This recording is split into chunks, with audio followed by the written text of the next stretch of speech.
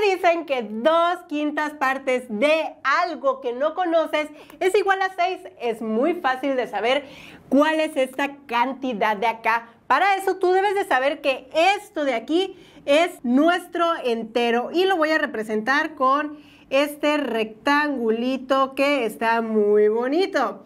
Y otra pista acá muy importante, interesante, es que te dicen las dos quintas partes. Esto significa que este entero se va a dividir en cinco. Por lo tanto, aquí tenemos una, tenemos dos, tenemos tres, tenemos cuatro.